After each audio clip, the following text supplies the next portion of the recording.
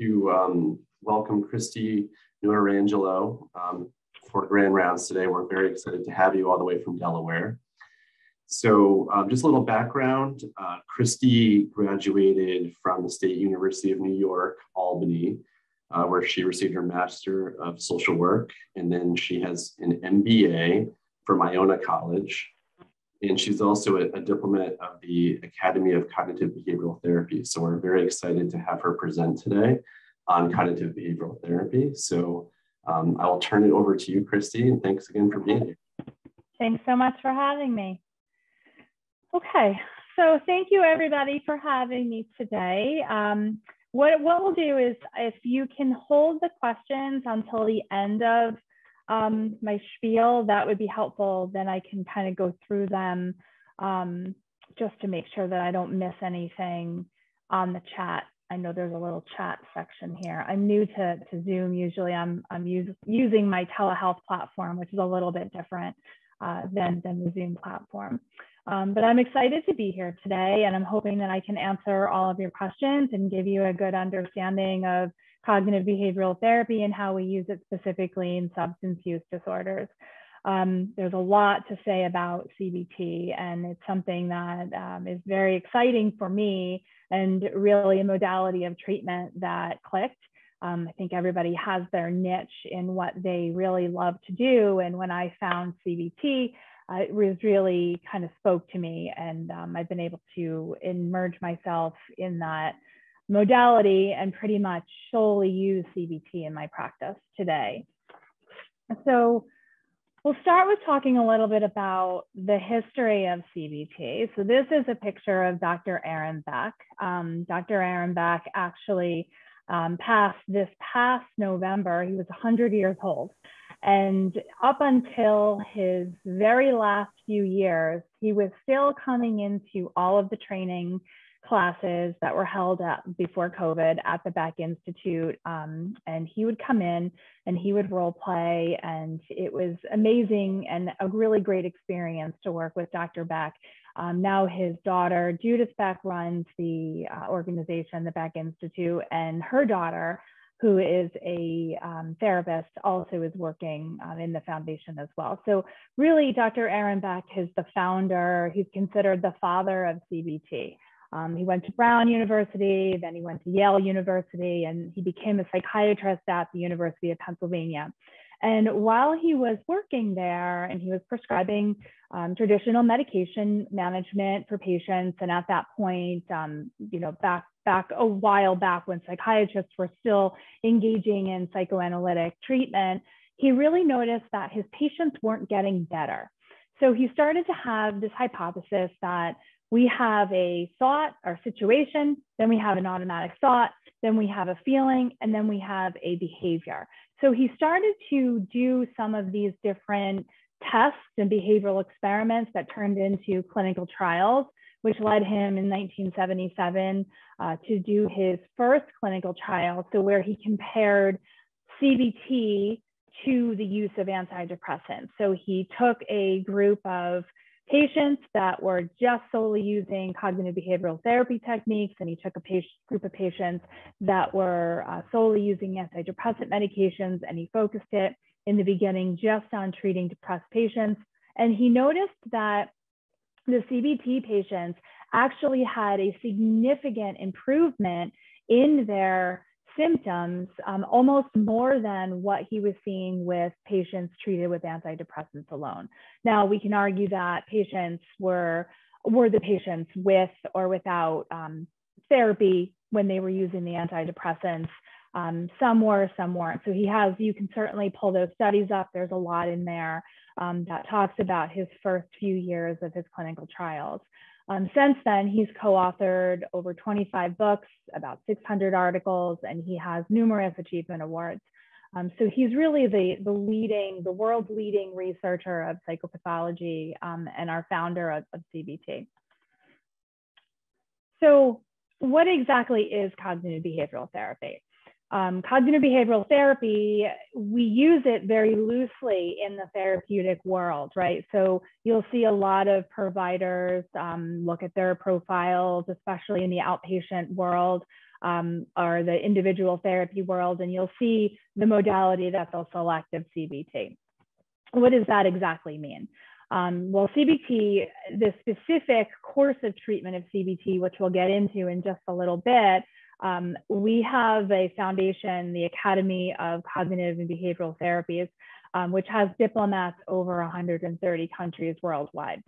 So I'm currently the only diplomat in Delaware. Um, we are always recruiting for, for more diplomats, and um, we'll talk a little bit about that training in just a few minutes. But over the last several years, since this first trial in 1977, there's been over 2,000 clinical trials worldwide using cognitive behavioral therapy and many different um, models of treatment engaged in, in with motivational interviewing or with um, psychodynamic or psycho, psychoanalytic um, behavioral therapies. So it's been it's been kind of used in such a broad perspective throughout the country, throughout the world. Um, but in most countries, we base a lot of our findings on those clinical trials. So basically, when we're looking at CBT, we're trying to examine what those inaccurate thoughts are and what those negative core beliefs are. The idea is that we want to be able to get to those negative core beliefs. The belief that those negative core beliefs is what's driving the behavior of our patients.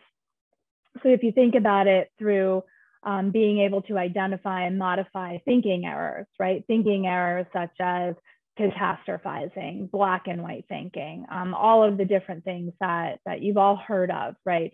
Um, diminishing the positives. There's, there's a list of these thinking errors. So we want to be able to identify these thinking errors and we want to be able to use an evidence-based behavior, behavioral experiment um, which usually includes some type of exposure therapy that we'll get into, um, a little bit less on the addiction side. So this presentation will focus more on how we can use CBT specifically for addictions. But when you move into um, the depression category or the anxiety or the OCD aspect, exposure therapy is that traditional um, kind of course of, of treatment that we're going to be using. So CBT teaches clients these different responses to manage their thoughts and their emotions, and these skills become portable. Why is that important, right? So it's important because CBT's average length of treatment is about six to 22 sessions, which if you think about clients in a broader broader picture, how, how many clients have you been seeing for years and years and years and years? True traditional CBT is not designed um, to be a longer term therapy. It's really designed to be a short term therapy, very acute symptom management, and teaching clients to um, identify and to be able to use different tools and skills and allow those skills to become portable. Once they become portable, then you can apply them to many different areas of your life.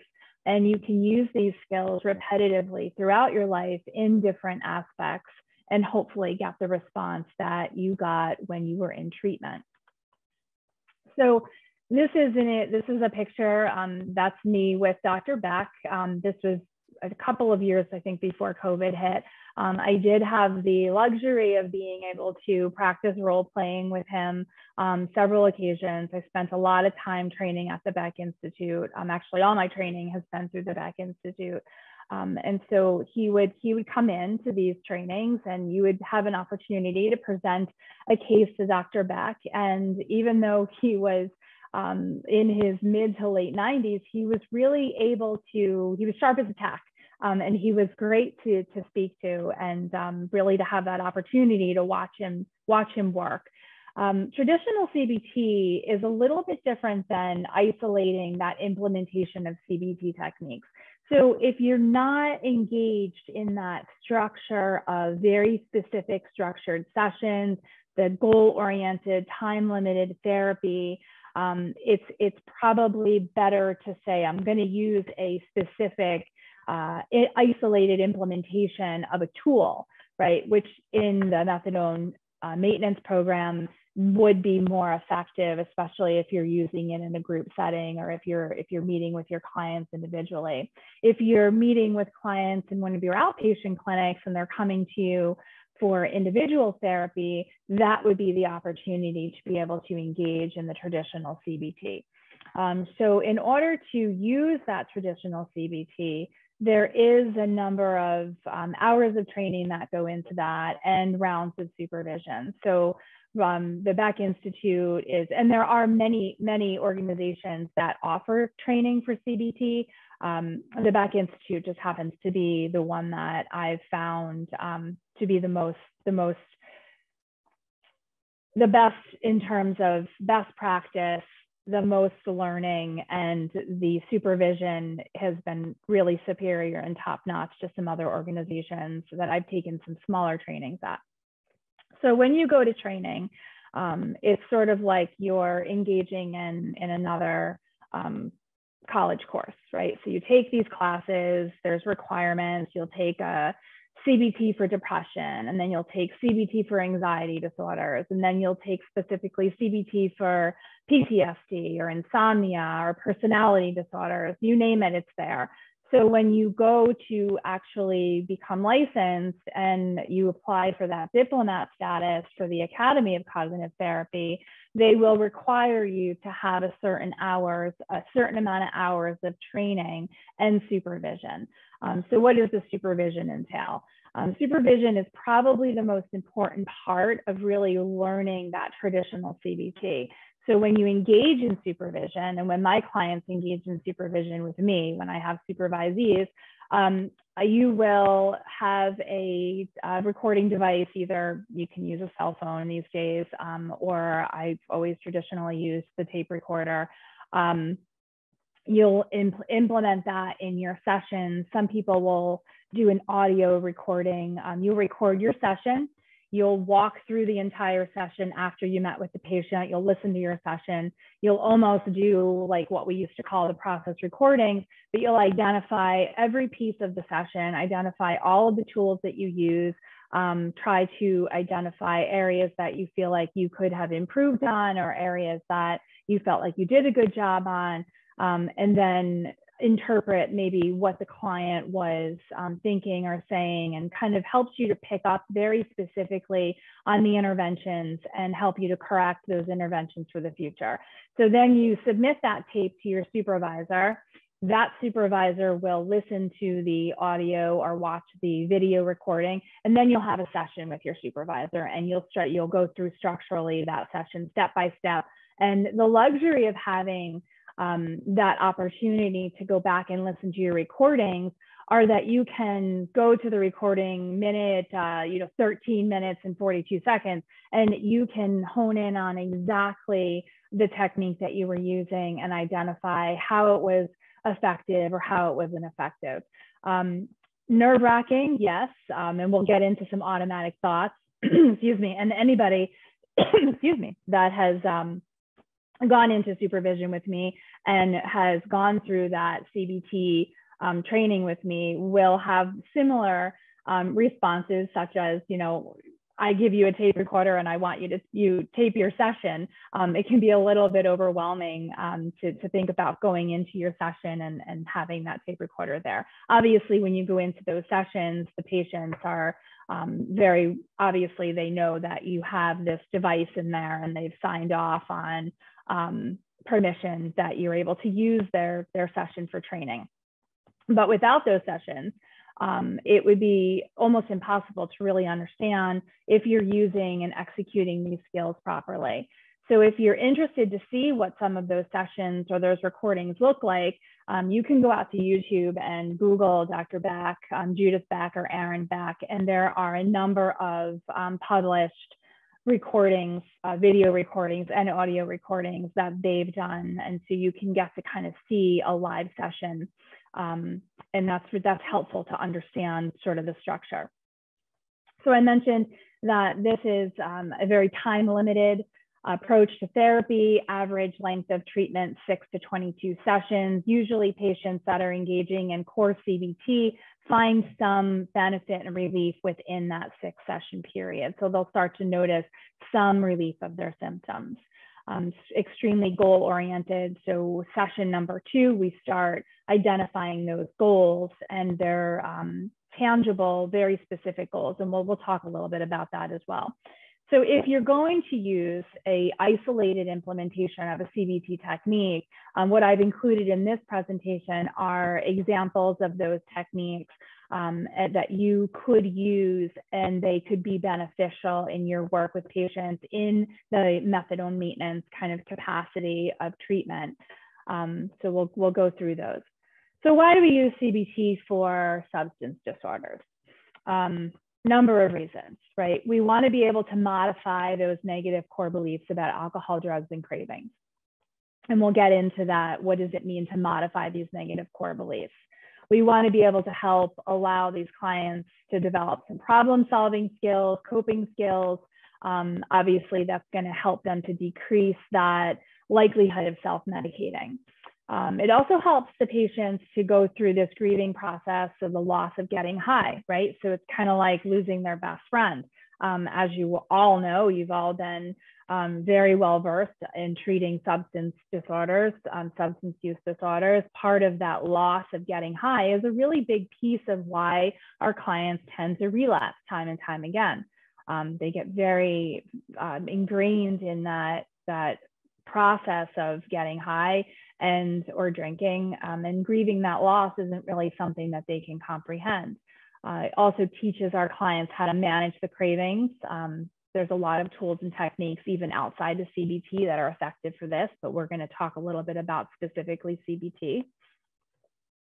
Prepares the clients to learn from their relapses, um, identify thinking errors, thinking errors um, specifically like I can't go to a party without uh, drinking, right? I can't um, go to work without getting high. I can't be a good mom without, um, you know, getting high in the morning. Um, those types of thinking errors, and we can help them learn from their relapses without having to go into this place of hopelessness and helplessness. We can identify high risk behaviors. Um, we can put some counter uh, counterproductive we can identify these counterproductive behaviors with the ind individuals and we can put goals around their, their recovery. Um, learning from these relapses without going into that, that major despair is huge in terms of CBT. Um, also examines these permission giving beliefs and the permission giving beliefs, we'll, we'll spend some time talking about what those specifically are.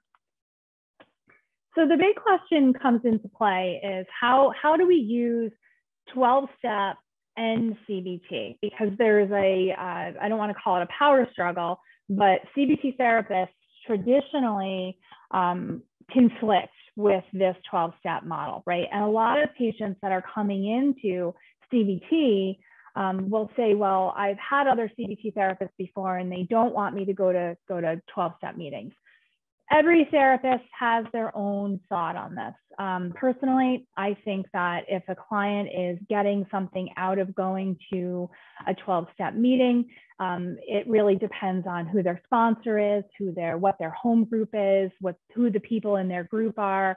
Um, take what you get, leave the rest is sort of, you know, what we talk a lot about. But you can actually use 12 step model and CBT in the same treatment modality. The big conflict comes into place with abstinent versus harm reduction because we know when you go into a 12 step meeting, we're going to want you to stay sober, right? If you if you end up drinking or you get high, you go back, you pick up your day one chip and you start that process all over again. Again, depending on the 12 step group and your sponsor. So there are some groups, there's patients that I've treated um, that have been with a sponsor or in a a group that is okay with the identification of harm reduction as a uh, modality of being appropriate for coming into a 12 step meeting, right? So as long as you are actively identifying that you are having a problem, you are an alcoholic, you are continuously trying to make efforts to reduce that, then they'll accept you into that group. Other groups are a little bit different. Um, they may not accept harm reduction as something that they're even willing to to uh, talk about or accept in any way, shape, or form. Um, CBT therapists traditionally have a problem with this word powerlessness, right? Well, why is that? Because CBT teaches you how that how the client is not powerless, right? We want to empower these clients to know that they do have power over their their behaviors, right? We do want to be able to say to them, it's not the medication that's helping you um, kind of get through what's going on uh, in your life and get to the next step. That's it's not a higher power that's allowing you to do this. It's you, it's your own progress. It's you making decisions based on your thoughts, your behaviors, your actions. Um, so it leads us to this, this kind of issue of a higher power what do we do with this higher power when a patient comes in and they're actively engaged in a 12 step process? Um, if you're a good CBT therapist, you're going to say, that's great. It, does it help you, right? Is it helpful for you? If it's helpful for you, go there, get what you need out of it. Um, let's focus on the symptoms that you're having and step away from the idea of what you're getting in 12 step, you're getting in 12 step. The other issue that comes up, and this comes up just not in CBT, but it comes up in many different avenues of therapy, are sponsors versus therapists, right? Sponsors are, so I guess some are, right? Usually not trained therapists. So a lot of clients that are relying solely on, on 12 step model um, are not getting that therapeutic portion of what they might need um, to get to the next step. Now, maybe they do, right? Maybe they are able to go into 12 step meetings and they found a great sponsor and they found a great home group. And you've, especially these older um, generational, you know, people that have been in these meetings and they live, breathe, and, you know, every breath is 12 steps, that has worked for them and that has allowed them to get better. Uh, what we're seeing with a lot of the newer and the younger generations is that that's not the case. And I don't know why that's happening. Is it happening because 12 step meetings are, are changing? Is it happening because our generations are changing? Um, that's, that's, I guess, would be an interesting study if somebody were to want to do a, a research project. so moving into what exactly does it mean to use core CBT? Right? How do we use a, what is the structure of a session, right? Structure of the session is probably the most important piece that you can start out with, with, with engaging in core CBT. So in the beginning of every session, we start out with a mood check, right? And, and at the end of, um, at the end of my slides, you can, there's a link to my website and on my website, there is actually a section called tools. And what I'll do when I have a new client come into practice with me is I will ask them to go out to the website and look at the tools and look at the specific um, tool that says, how do I prepare for a CBT session? Because what we want is our clients to come into session and we want them to be prepared for session. Because we have this time limited approach, we want to be able to make sure that we're using that 45, 50 minutes of session to the best possible use the time that we can, right? We want to be able to make sure that we're talking about things that are important to that client that they're struggling with in the present time. Oftentimes, you can find that your sessions go down a rabbit hole and you end up talking about something um, that you know maybe happened that specific day to a client, but you miss talking about the issue that they were struggling with for the past past week. So the first thing that I'll, I'll always do for a client is ask them to rate their mood. We'll do a mood check, either on the anxiety scale or on the um, in, uh, on the depression scale. Um, sometimes I'll have them do a substance abuse inventory.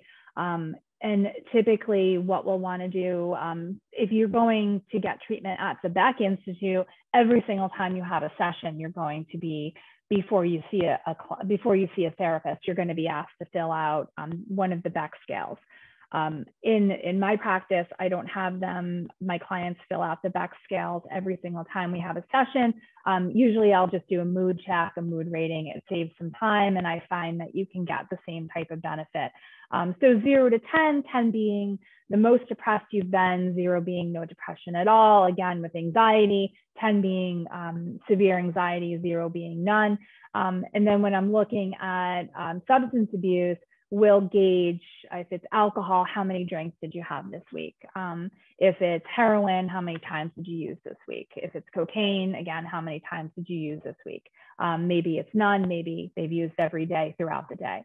Um, usually my one and only rule is obviously you're not going to come into session. Um, please don't use before you come into session and please don't drink before you come into session. A little bit more difficult to tell with telemedicine, but hopefully you've built that relationship and the rapport with your client enough to know that they're not going to be coming in the session with you um, drunk or high. So the first thing we want to do is a mood check. The second piece of a structure of a CBT session is a bridge. You want to bridge from what you talked about the last session. So in my notes, when I take a note from a client, I will always talk about um, their mood rating, the content of the session, their homework, and what we're going to bridge to for next session. So when we leave the session, we'll always start out with kind of, I will ask the client specifically, well, what do you remember us talking about in that last session, right? What is the most important piece of last session that you took away? Um, how is this important and, and what did it mean to you? What do you remember talking about? Sometimes the client comes in and they have absolutely no idea what we talked about last session.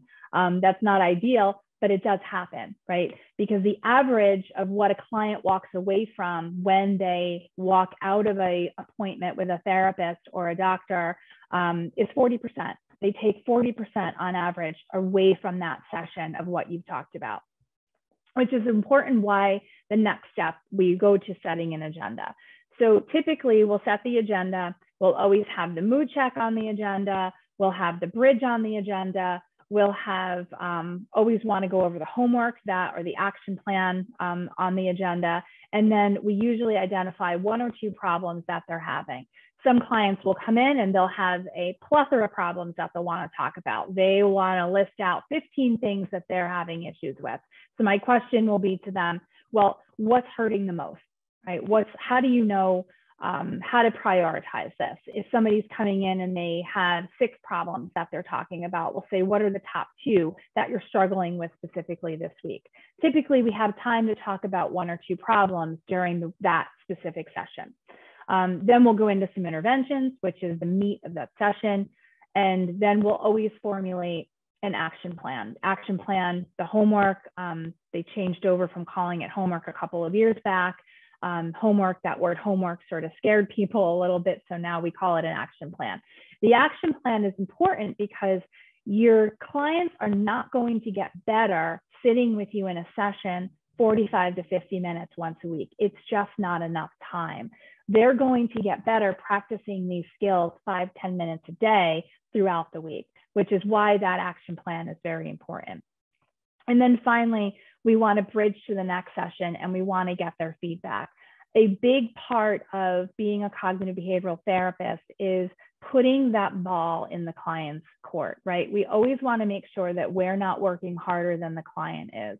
So I always will ask my clients at the end of the session, how do you think session went today? Right? What did you get out of our session today? What were the most important parts that we've um, discussed in our session today?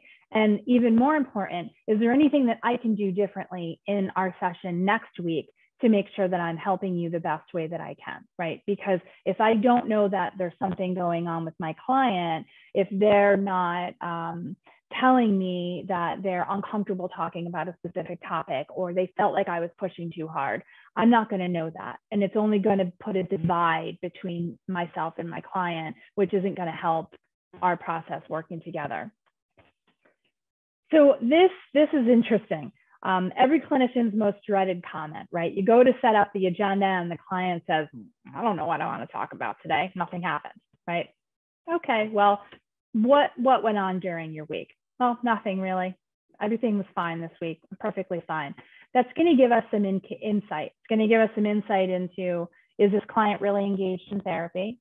Is this client um, not engaging with the therapist, right? Are we not meshing together? I always tell my new clients it takes a good three to five sessions to know if it's a good fit. If we're not a good fit together, I will make sure that we can refer you to another therapist who might be a better fit for you. The worst thing we can do as therapists is keep a client in session with us and keep them as our patient if we don't fit with them. A little bit more difficult to do when you're in a structured outpatient setting, but if you're finding that you really don't mesh well with a client, the best thing you can do for that client is try to transfer that client to another therapist.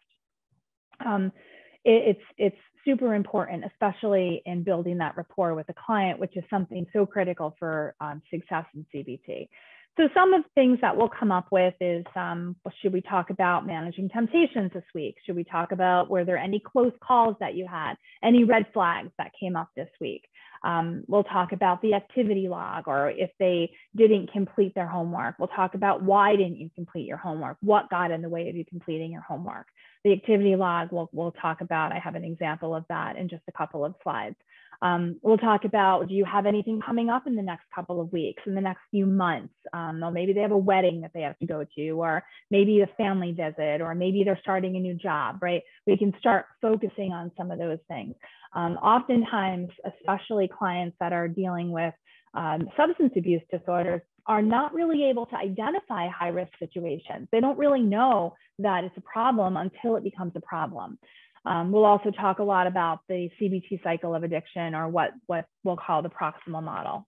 so we're going to use Joe as an example. Um, this is, we obviously changed, I changed his name for confidentiality, um, but Joe is a 55 year old married male. Um, this is a real patient that I, that I worked with in the past. Um, he works full time from home. He has three children in high school. He had his first drink when he was 10 years old. Um, prior to treatment, Joe was drinking a handle of scotch every two to three days.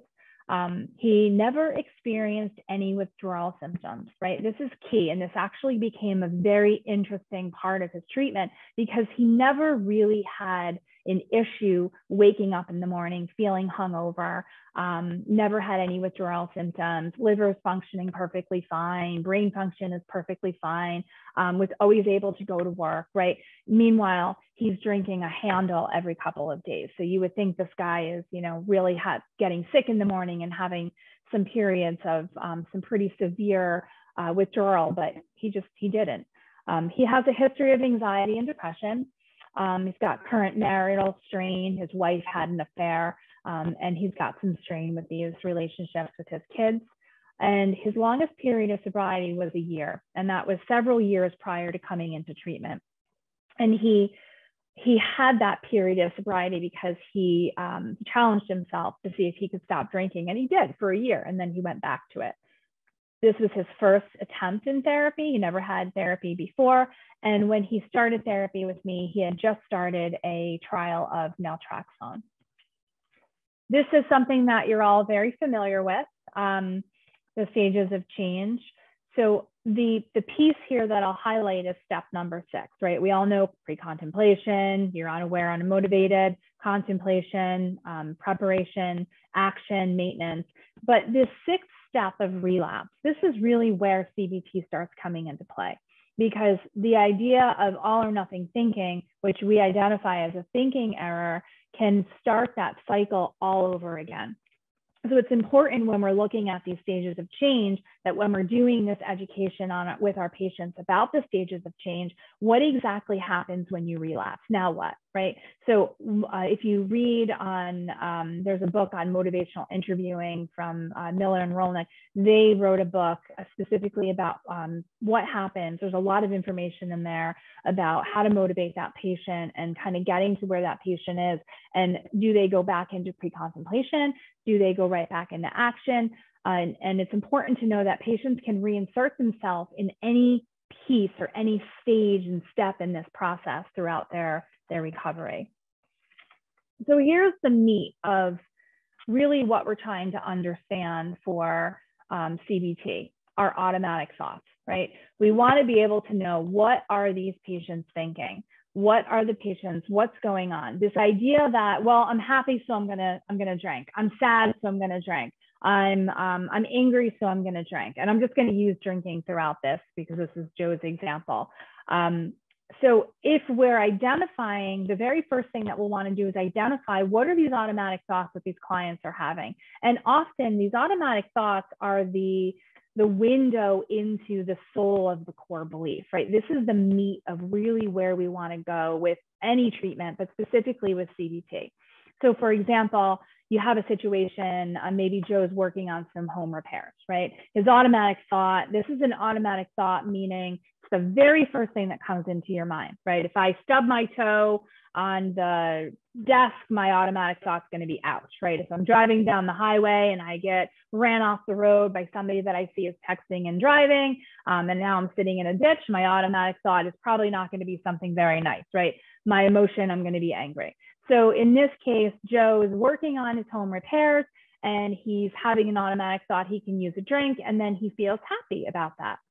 And that that's something that will really hone in on in the first couple of sessions is getting at what are those automatic thoughts and how many times during the week are you having these automatic thoughts that you're not aware of. They're drilling down even deeper. We have a situation, leads us to having an automatic thought, and then it leads us to having a reaction. So in the beginning, when Dr. Beck developed this model, right, this conceptualization model of, of CBT, he looked at a situation, he looked at an automatic thought, and then he called it a behavior. About five ish, maybe six years ago, um, they said, wait a minute, but the behaviors actually come in three different methods, three different um, reactions, right? We react emotionally, we react behaviorally, and we have a physio- physiological response. Well, what does that mean? So if Joe is working on these home repairs, he's having an automatic thought that I need a drink. And then he's having an emotional or reaction. Um, his emotion is he's happy, he feels relief. Um, his behavior, he pours himself a shot. And then his response is that he's calm and he's relaxed.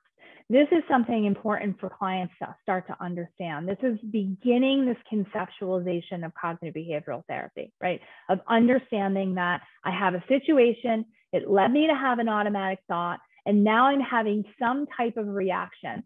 Patients don't always have a physiological response. They don't always have a behavioral response. Sometimes they just have an emotional response, right? But this helps us understand what different reactions our clients are going to have. So some tools and techniques that are most heavily relied on when uh, working with clients, not just with um, addictions, but these are kind of my go-tos. And, and every CBT therapist that you come across, they might have their own um, toolbox that is going to be their most effective tools. These are the tools that I would like to share with you today um, because I think these are the most effective tools and I go back to them um, more often than not. Some of the other tools, um, they can be effective. There, there's a stack of tools this thick um, that you can use and, and really implement them in different ways. But this is really something that you can use across the board and included in that eclectic therapy approach that a lot of therapists do, especially when you're working in an outpatient setting, but you may not have that opportunity to just solely put a patient on a CBT track. So a thought record, um, we'll go over identifying automatic thoughts that we talked a lot about just now. We'll talk a little bit about testing our thoughts, modifying our thoughts, um, talk about the activity schedule, the importance of the activity schedule. We'll talk a little bit about delaying and distracting, um, cost benefit analysis, huge. I use this almost every single session in some capacity. We'll always talk a lot about that cost benefit analysis, um, rely very heavily on role plays, and then um, out of the three types of exposures, and I'll, I'll mention some of those later, um, with, with dealing with addictions, we rely heavily on that imaginal exposure. So this is an example of a thought record. This is something very early in treatment that I'll assign my clients to, to for homework, right?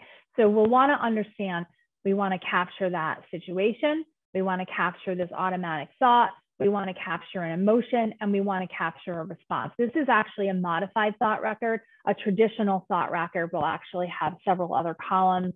Um, we'll use that much later in treatment. And if you're um, doing some type of a um, experiment in terms of a research project, that's going to be the, the model that you're going to want to adapt.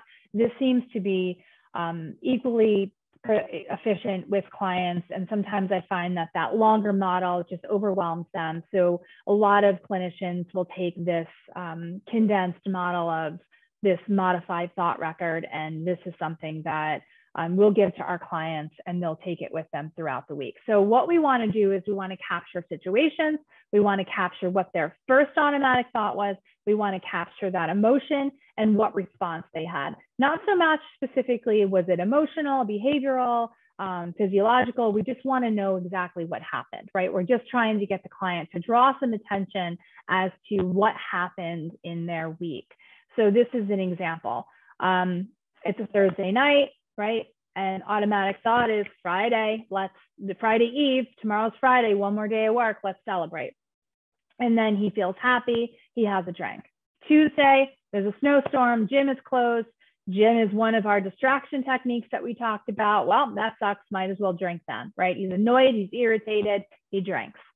Um, another situation, wife's homework, uh, home late from work. His automatic thought, here we go again. Um, he feels jealous, hurt, angry, and then he questions his wife when he gets home and he has an argument, but he doesn't drink that night. Then he has an argument with his wife, has an automatic thought, I should have left her. He feels angry, used, and embarrassed. He decides he's going to go for a, a swim. Um, first time at a new gym. Joe also has a pretty severe anxiety disorder. Um, so he's feeling automatic thought, I don't know what I'm doing. Everyone's looking at me, everyone's judging me. I feel anxious. And then he ends up completing the workout and goes home and, and gets ready for work. Um, Joe, Joe likes to go to the gym either very early in the morning or he goes at night. Next situation, he burns dinner. I suck as a cook. He gets angry, he's annoyed, and he ends up having a drink.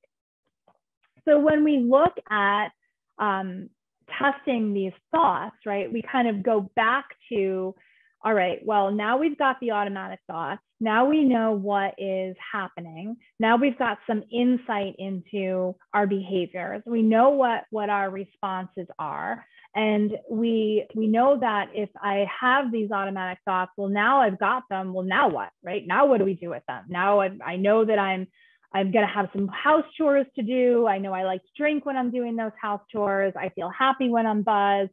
And i have this belief that i just can't i can't get my chores done without drinking.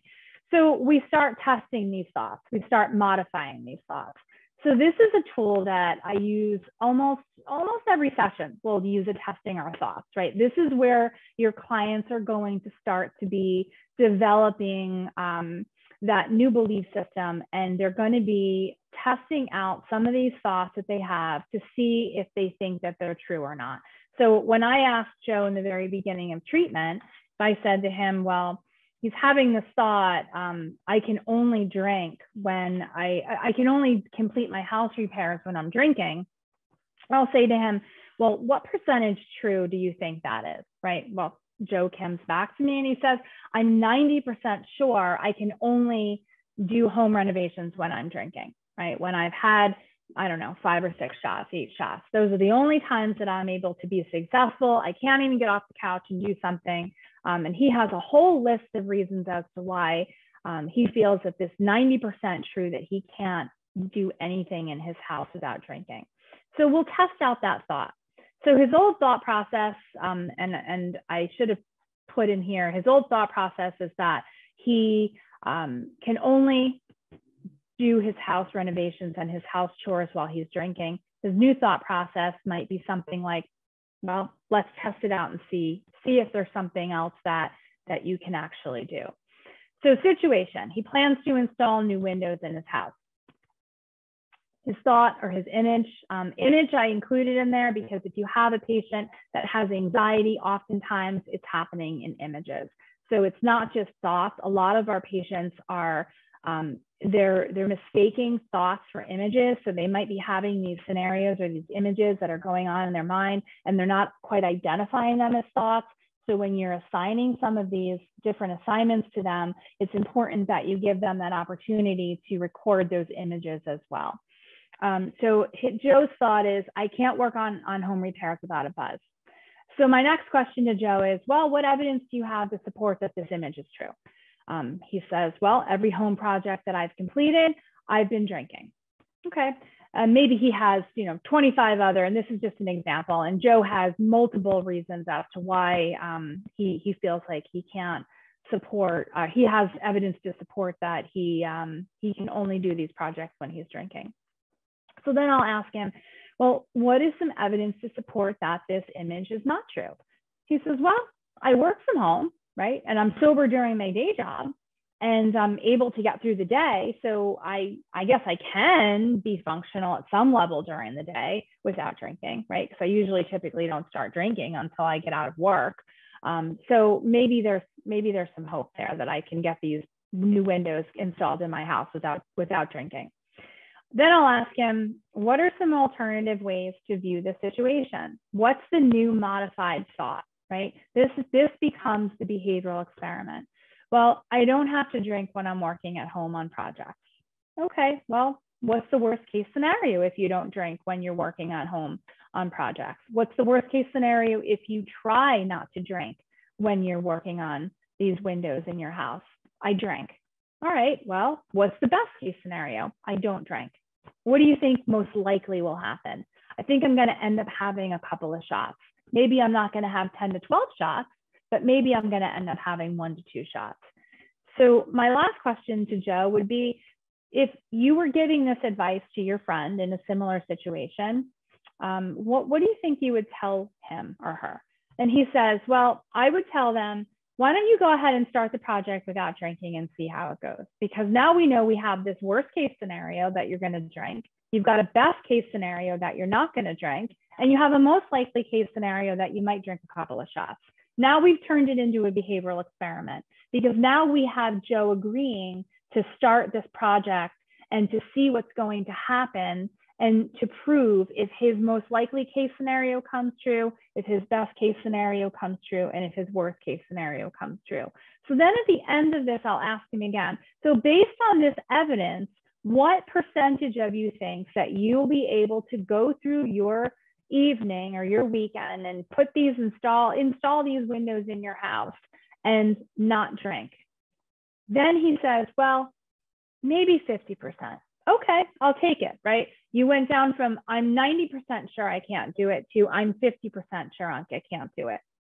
We'll run a behavioral experiment and we'll end up seeing what that number goes to.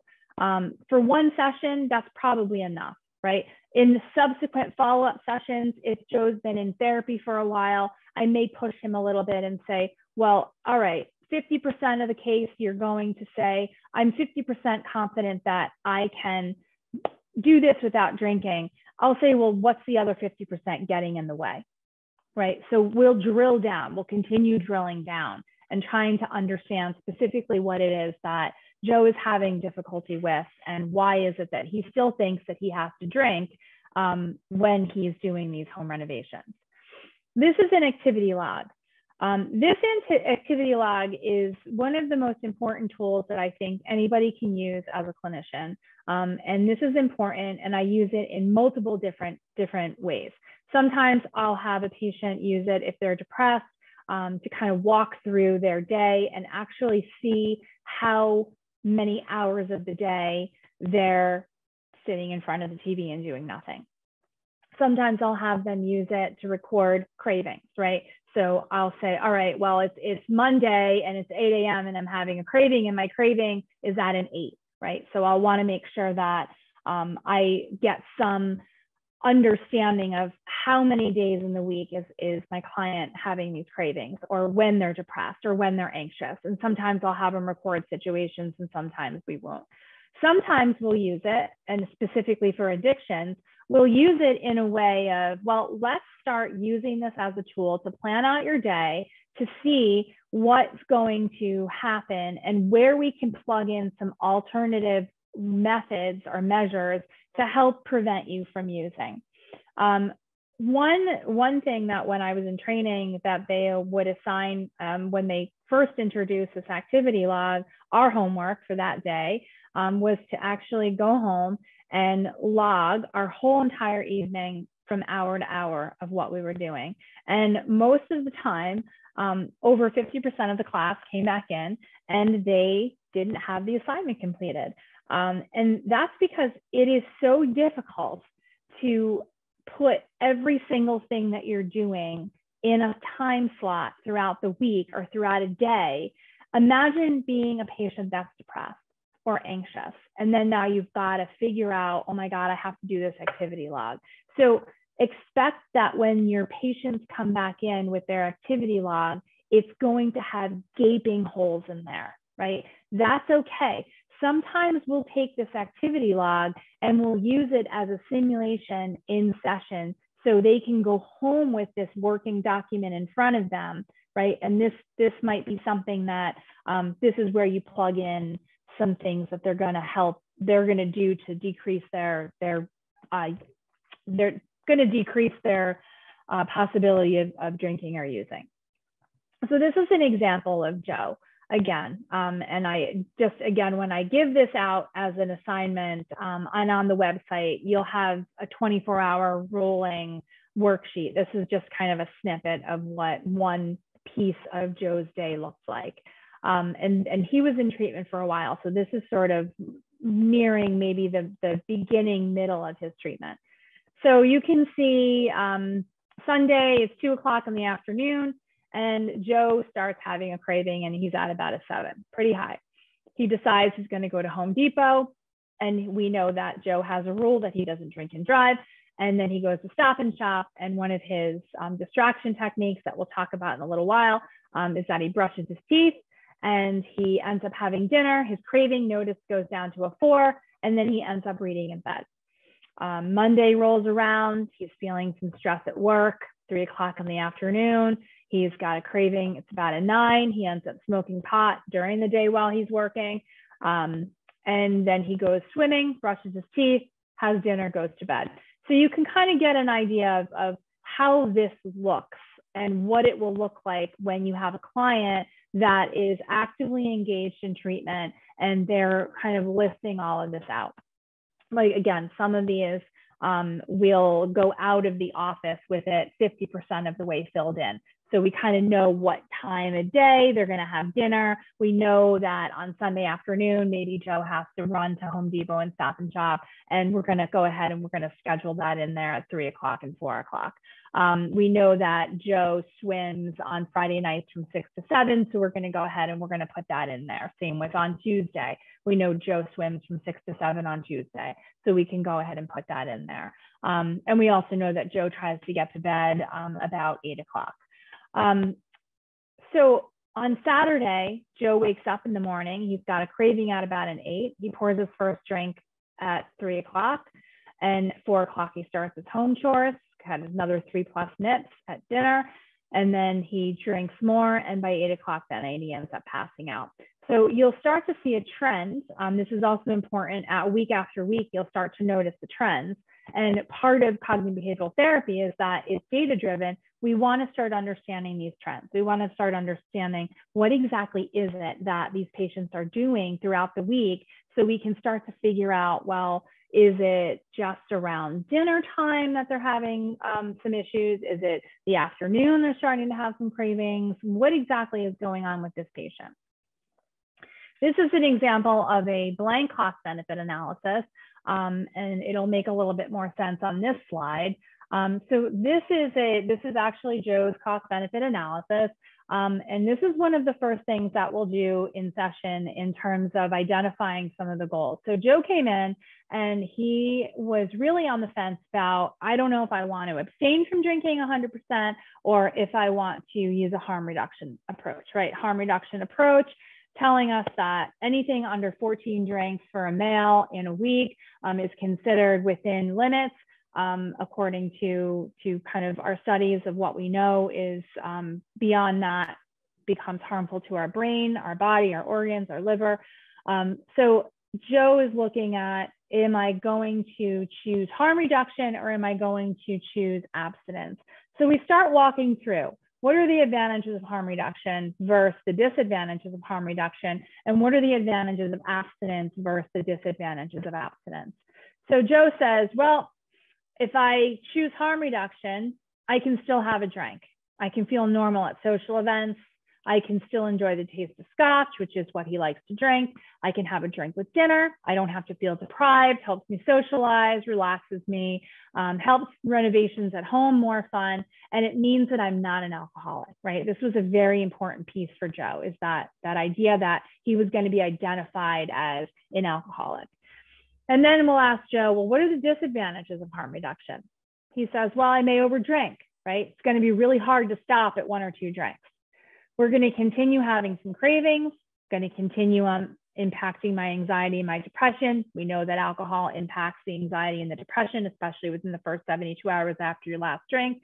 And we know that my wife will always be monitoring my, my alcohol consumption. And then we take a look at um, advantages of abstinence, right? Well, what, what is it that's good about abstaining? I won't have a temptation to drink.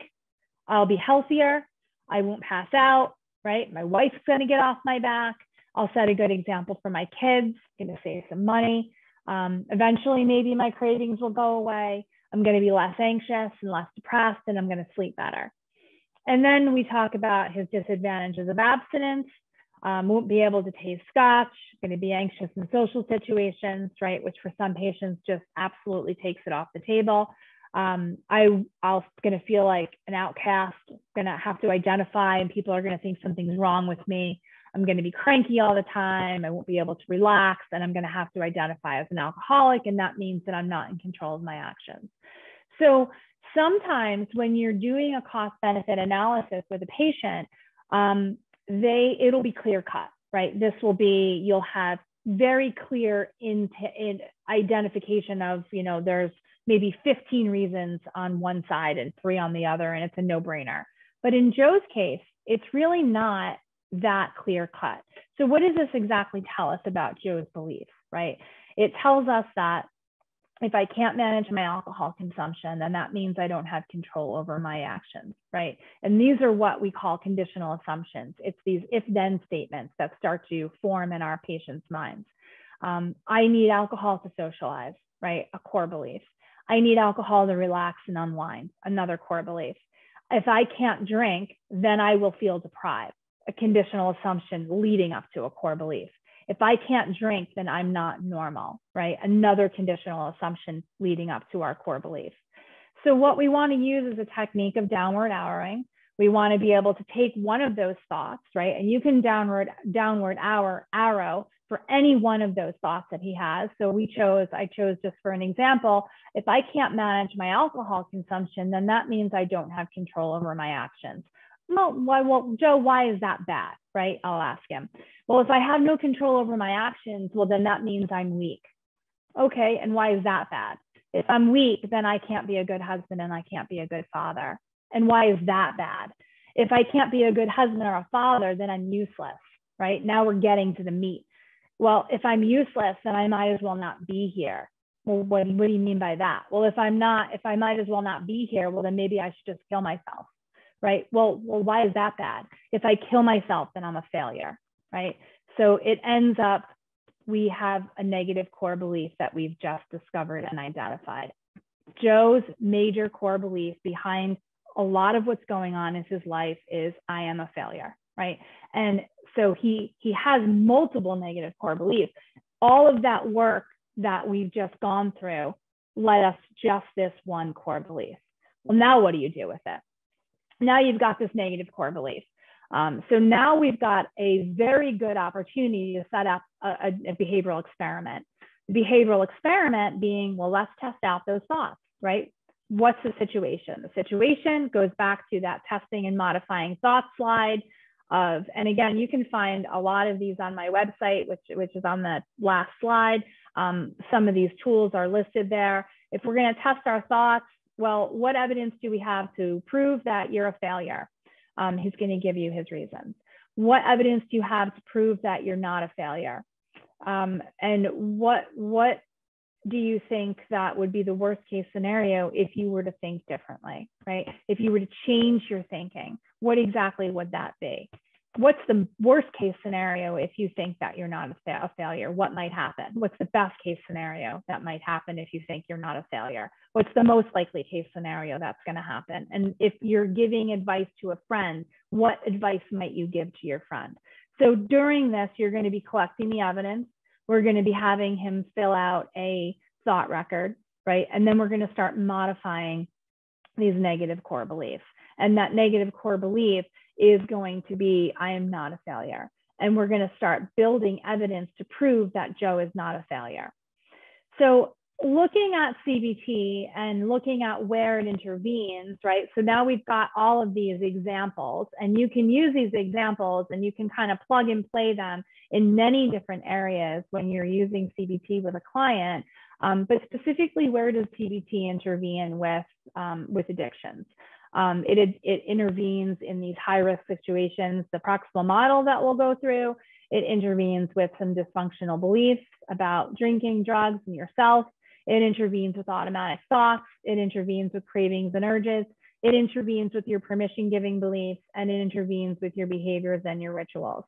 So this is the proximal model of abuse. And you probably have seen a slide like this before. So we look at a high risk situation. We look at what the expectation is that the client has.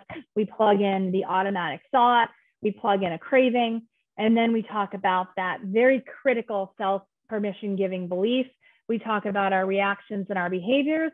And then we talk about our relapses and our slips. So an example, if Joe was going to slip, might look like, well, I have plans to work on my house. Um, my expectation, I want to relax and unwind. My automatic thought, I would love a drink.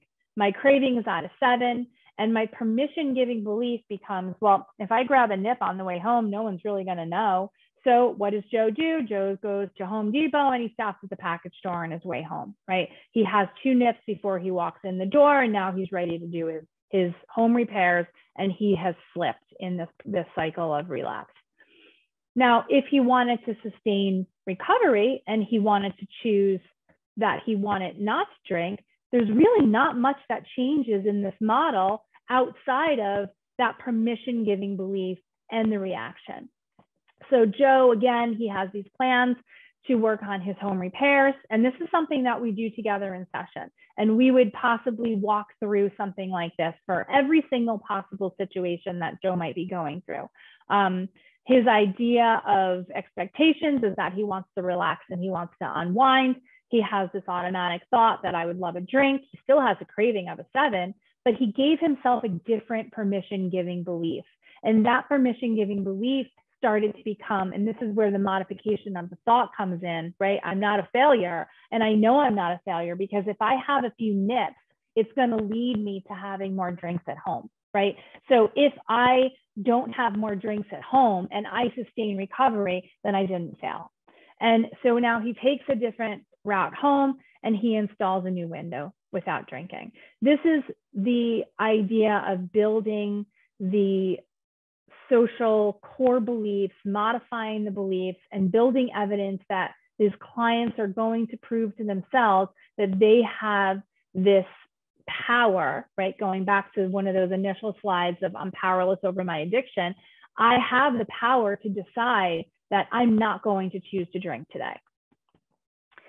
So some high risk situations um, that we can use CBT and the, the different um, techniques that you can use. And again, you can, these are great for um, putting in a group setting. They're great for using on individual. They're great for prescribers. They're great for really anybody that you're going to be um, having contact with a patient and you can use these and plug and play throughout their treatment. Um, that activity log, you can target with that activity log just one specific day and focus on one specific day. Sometimes it's just way too overwhelming to give a client an entire activity log and tell them, fill this out for the week, come back next week and tell me how you did. Um, sometimes we'll say, okay, we know that you have um, a stressful day coming up on Tuesday. Let's walk through just Tuesday and let's walk through what we think it's going to look like. And then let's plug it into the proximal model of abuse. And let's walk through what it's going to look like if you choose to give yourself a permission giving belief to continue using, or if you choose to give yourself a permission giving belief that you're going to sustain sober, right? Then we'll, we'll walk through testing thoughts, and then we'll do something with an imaginal exposure. Um, exposures is something interesting with CBT. So exposure therapy is something that we use in CBT, especially with um, any type of obsessive compulsive personality, obsessive compulsive disorders, obsessive compulsive personality disorder, um, really any of those, those cluster personality disorders.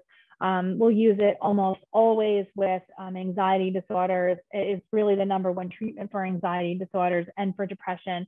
Um, imaginal exposure is something that is the most effective for um, substance abuse because obviously um, there's still there's three types. Let me back up for a second. There's three types of exposure. So one first exposure is called an in vivo exposure. That's when you're putting a person in the actual situation.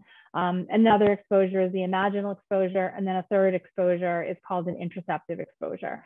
Um, an in vivo exposure, if somebody is shooting heroin, obviously we're not going to want to put them in a position where they're around people that are shooting heroin. Their likelihood of relapse is going to be pretty high.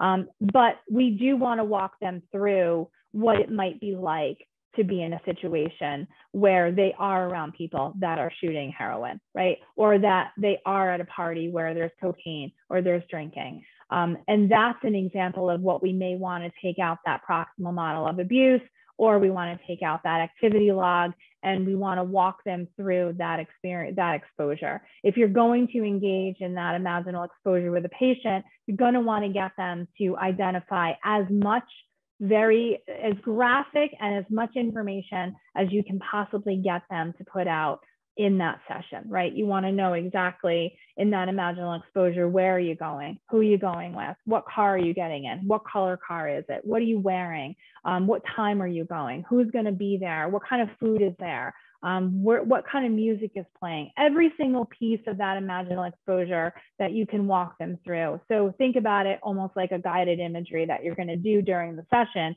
And then a homework for an imaginal exposure might be for the client to commit to doing um, three imaginal exposures that week, or maybe they want to say, I can do an imaginal exposure every day during the week. Um, the interoceptive exposures, I, we can get to that if we have some time at the end of the um, at the end of the slides. So dysfunctional beliefs, right? What are some of these dysfunctional beliefs? Most often, you've all heard these before, right? Heroin is not my drug of choice, a drug of choice. I can still use cocaine, right? How often have we heard that? Well, I, I don't have a problem with cocaine, so what's the problem? Um, pot's not addictive, so if I smoke a couple of times a day, that's that's not a problem right? I can drink because drinking isn't a problem for me. Heroin's my problem. Um, or vice versa, right? Well, I I can I can shoot a bag of dope, right? Why not? I my drug of choice is alcohol, not not there, not heroin. Um, my boyfriend deals, so at least I know where it's coming from, and I'm not going to die. How many times have we heard that? How many times have we had overdoses from that? Um, I can't hang out with my friends if I'm not high right? I this is this is a lot of the social anxiety piece. Well i can't go to a party if i'm not if i'm not high. How am i going to function? And then another one that we kind of get very often especially when you have a history of um, this genetic predisposition within a family everyone in my family is a drunk so it's my destiny to be drunk. So what do we know about cravings and urges right? We know that and we'll spend some time talking about patients with on this specific piece, right, about cravings and urges, because a lot of times they have dysfunctional beliefs about cravings and urges. Well, if I use, then my cravings will go away. No, yeah, they'll go away until you have another craving, right? And what do we know about cravings? We know that when you use, you have a craving, and when you have a craving, you have a use. And when when you have a craving, we also know that an average craving lasts seven to 21 minutes. So sometimes we'll pinpoint what do we do during those 7 to 21 minutes and we'll do a behavioral experiment around looking at can I get through some of these cravings to see if I can get a couple of days or put a couple of hours even together of not using.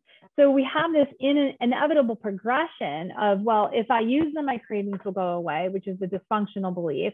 And then we have the sort of data driven, well, I know that if I use, I'm going to have cravings and cravings equals use. So now I'm stuck in this cycle.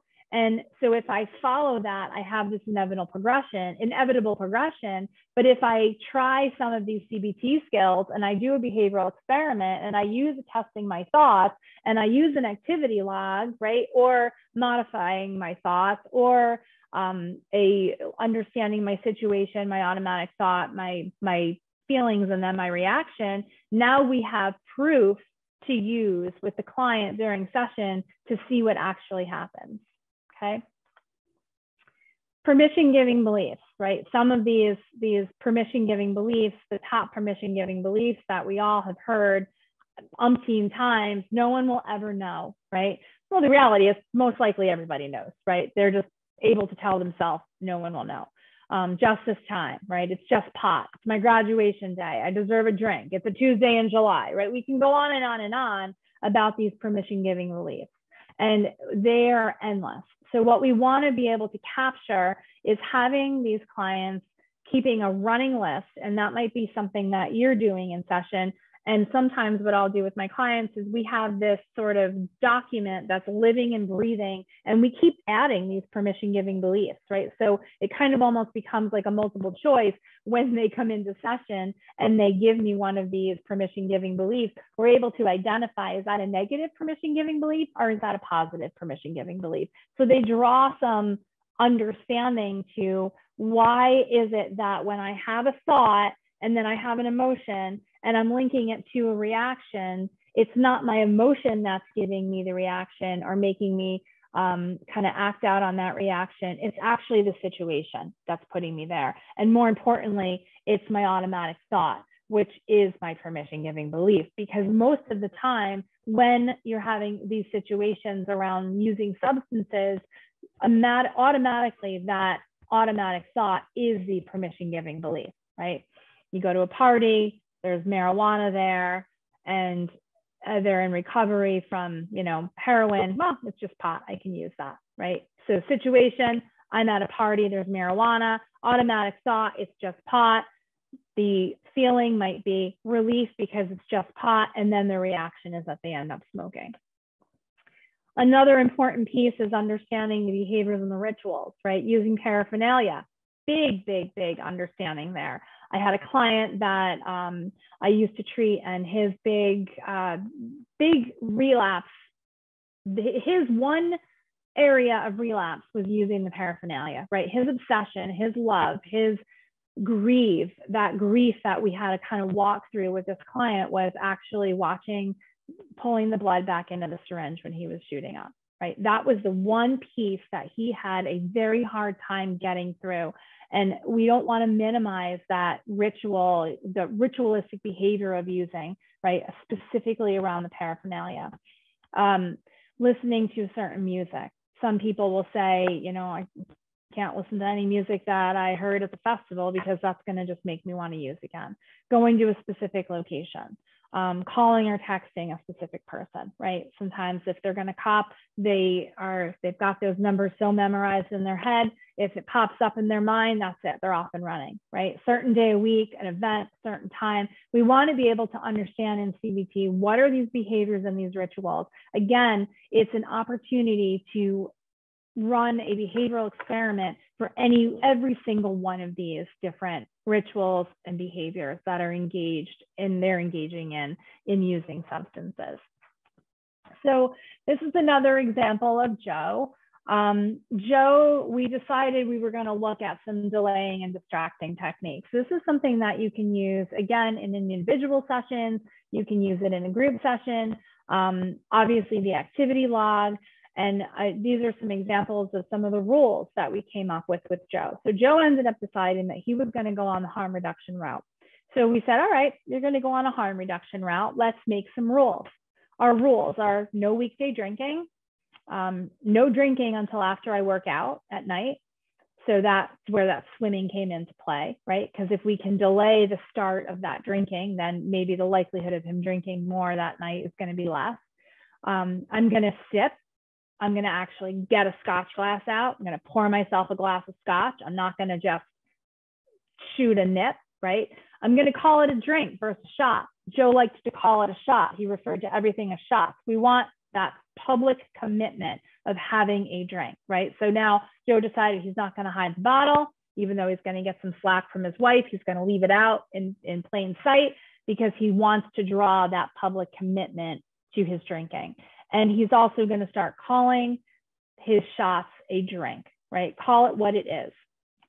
His distractions, he decided that brushing his teeth makes his cravings go away. We ran a behavioral experiment around that, and that's how we came up with that, that distraction on his list. Um, he realized that if he drinks apple cider vinegar, right, for some reason, Joe liked to drink apple cider vinegar, and it sort of he liked because again, the ritualistic and the, the feeling of that burn in his throat when he drank the scotch was something he liked. So he substituted it for the apple cider vinegar and it ended up becoming a distraction for him. Um, on days that he noticed that he was craving, he would have some apple cider vinegar and it would move him away from drinking. Um, he decided he was going to go swimming in the evenings versus in the morning. Again, because his rule was I'm not drinking and driving. And if I come home at seven o'clock at night and I know I go to bed about eight, I only have an hour of time that I'm playing with him there. And the likelihood of me drinking um, more more than you know maybe one drink in that time period is is less than if I have three hours. He was going to plan to run his evening his errands in the evening. Um, he was going to start to read a new book, and he started planning to go out to dinner with his family at night. Again, that distraction and delaying the start. So some other interventions, um, role playing, the imaginal exposure we talked about, and a safety plan. Um, role playing is, is a good one. That's something that um, I use a lot with my clients, right? So we'll talk about role playing. Um, and in that sense, and sometimes some therapists get really caught up in the fear of role playing or they don't like getting into that character. But for CBT, it's important. It's important for two on two fronts. One, we want to play the role of the client we want to play the role of the therapist and we want to play the role of the person that they are talking to in that role play, right? So if they're having an um, interaction with their spouse and it's a heated, ugly interaction, we want to make sure that we play the role of the spouse and then we want to play the role of the client. Um, so they can understand and see the different takes on how you as a therapist are going to be modifying and responding and replaying a situation and identifying different ways of having those conversations that the patient may not even be able to identify as a potential of even saying, right? So getting them very used to, again, exposing them to having these conversations um, and putting them in these situations is a big piece of CBT and understanding how to get them to that next piece. The imaginal exposure we talked about, and then um, worst case scenario, we come up with a safety plan, right? If you're in a situation that you are going to be, if you're on, you know, probation or you're on parole and you, you know, one more time of a slip, you're going to end up um, back in jail, or if you're on the methadone maintenance program, or if you're on Suboxone and you keep, um, you know, passing dirty urines, um, you're going to get kicked out of the program. So we'll come, we'll come up with a safety plan. So how in your, your when, how are you going to execute this safety plan? Um, who are you going to call? Kind of very much similar, similar to a safety plan if somebody's suicidal, right? What coping skills, what are the red flags first that you're going to know that you're in a danger zone? Um, what coping skills can you do on your own that you know when you're in a danger zone? If those fail, what do you do next? Is there somebody that you can call? Who's your therapist? Are you allowed to call them, um, you know, after hours? Can you schedule a session? um, and kind of walking through that that plan for them. And sometimes that's enough to kind of keep them out of either getting kicked out of a program or going back to jail. So there are a lot of, and I know I kind of raced through a lot of this. There's just so much in the methodology of understanding cognitive behavioral therapy. This was a very small snippet of what it actually is to understand and use these different skills and techniques. Um, and really, I could go on for days. Um, and unfortunately, we have to be on Zoom. Um, if we were in person and had a longer period of time, you know, we could have demonstrated some of these role plays or um, had that that benefit of doing that. But I would urge you to kind of get together with each other and walk through some of these different situations, um, take some of these tools out, um, print some off the website, and take a look at um, a few of these other websites the Academy of Cognitive Therapy, um, the Beck Institute, which is a great resource, um, and certainly on my website. So if you have any, any questions or you're interested in becoming trained or becoming a diplomate or taking classes, um, sometimes you know you can even do them in a bulk setting. Um, it's it's really beneficial and using these tools and techniques in terms of uh, making progress with your patients and seeing progress in a very short period of time, um, it's really one of the most effective tools that in my several years since practicing, since I was licensed in 1998, um, has been um, the most effective tools that, that I've seen today. Um, so that's what I have for presentation piece. Um, let's see. I'm going to the chat. So anybody have any questions that I can answer?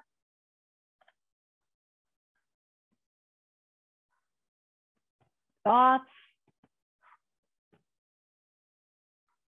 No questions.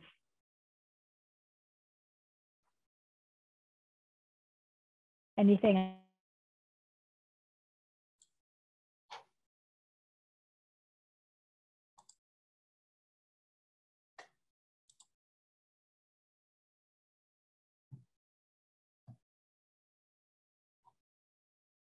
Dr. Podolsky. Oh, wait. Thank you. You're very welcome. Yep. Thank you. Can you speak a little more to the resistance? Oh, how do I stop it? Okay, wait. Can you speak a little more to the resistance to changing the permission giving belief? Yes. Um, so it's understanding the, the, the permission giving belief is a big piece, right? So when you have these different permission giving beliefs and you have patients that specifically went in the addictions realm, um, they are going, these permission giving beliefs are typically, they're monitor, modeling after their core beliefs. So a lot of understanding that permission giving belief and changing it is going to come from those behavioral experiments. Um, a lot of clients are going to come in and they're going to have these permission giving beliefs that are going to be so deeply ingrained that penetrating into them and they're going to look at you like you've got 12 heads right like what are you mm-hmm. talking about how i'm not going to drive a different way home from the store and you know i'm, I'm i i know that no one's ever going to know and i know my wife isn't going to know and i know that i deserve a, a drink and i know i've been sober for three months and i can use um, just this one more time those are traditionally reflections of that negative core belief. And once you get at that negative core belief and start understanding that negative core belief a little bit, um, that's when you're going to start to see some permissions giving beliefs change. That really comes with modifying your thought process. Um, sometimes it's really tough, right? There's an act as if um, tool that we'll use in CBT is kind of like, well, let's let's see, let's set this behavioral experiment up and let's act as if we believe it until we see if we have enough evidence to prove if we do believe it or not. Um, they still may really be resistant, right? It still may be very resistant to, um, I'm just not going to be able to get past this idea that no one's going to know, or it's just going to be this one last time. Eventually that will change especially once they start engaging in some of these um, different techniques that you're using and they build their own evidence to see that that data that they've given to themselves is incorrect.